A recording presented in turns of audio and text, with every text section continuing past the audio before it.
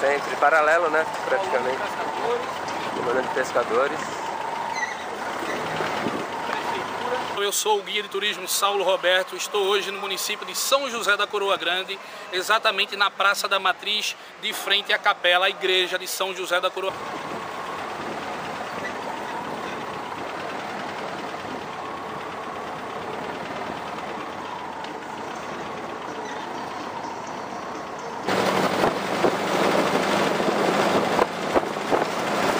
visitarem São José da Coroa Grande, vocês precisam vir ao Engenho Morim, tá? que faz parte da nossa rota turística, um engenho histórico, cultural, não é? fez parte da história do estado de Pernambuco.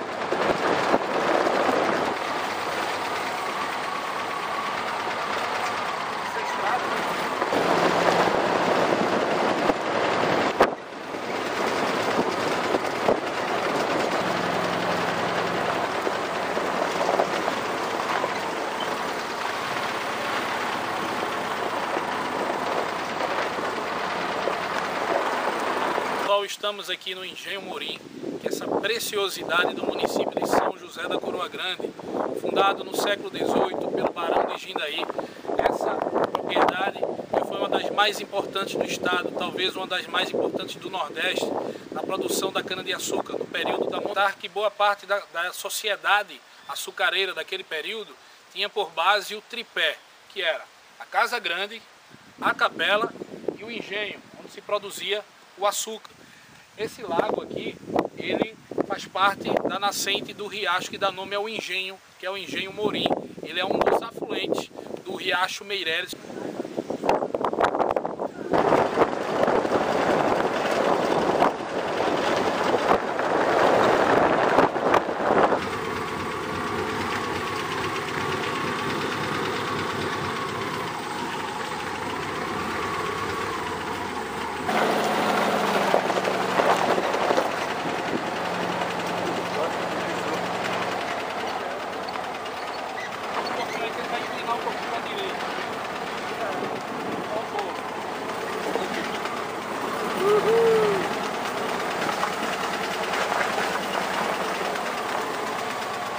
Estamos aqui na Pedra Grande, mais um atrativo turístico de São José da Coroa Grande.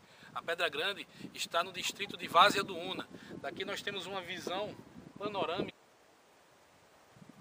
São José da Coroa Grande você precisa conhecer a Pedra Grande, que é uma das atrações turísticas daqui do nosso município. Se você vir a São José e não conhecer a Pedra Grande, todo esse visual, o Oceano Atlântico, o encontro do rio Una com o mar, você não vai poder dizer que veio a São José nem ao litoral sul de Pernambuco.